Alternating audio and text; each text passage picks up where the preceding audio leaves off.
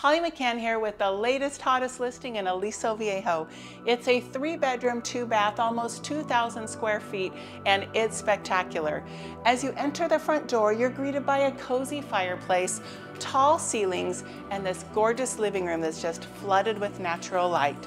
The island theme is carried throughout, so let's go take a look at the details.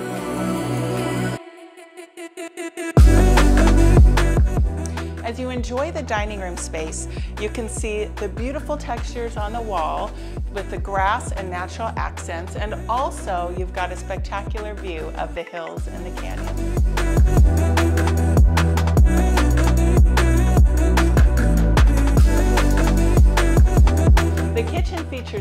Stainless steel appliances and a custom tile backsplash.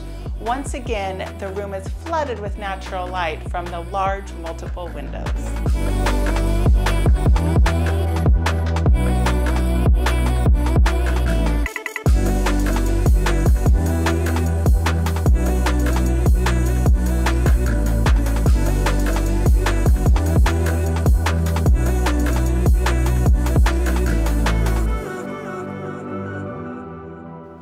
Something unique to this home is the owners have added a third closet inside the primary suite. All of this is extra closet space, customized just for this home. Inside the spacious primary bathroom, we've got a soaking tub, and you can also see the view of the city lights and the hills from in here. The backyard of this home is plenty roomy for dining area, barbecuing, and just relaxing. As you can see, the owners created their little slice of paradise with a beach-themed environment right here.